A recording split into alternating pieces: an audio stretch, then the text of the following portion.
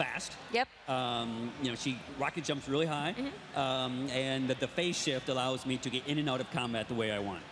So we should talk about rocket jump because we've been seeing some questions about that.